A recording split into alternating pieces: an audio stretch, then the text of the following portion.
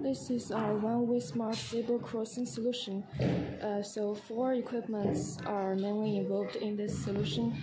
Uh, the first one is uh, radar detector and uh, the LED brick light for pedestrians and uh, the lane light for vehicles. And the last one is uh, this pedestrian crossing sign.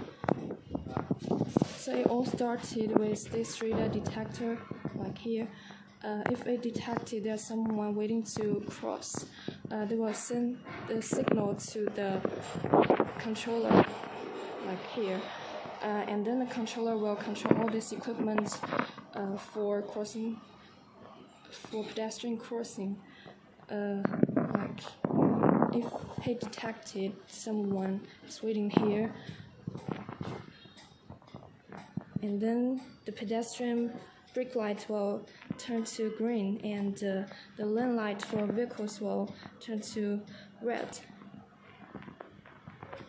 And uh, this pedestrian sign will flashing quickly uh, so pedestrians can cross safely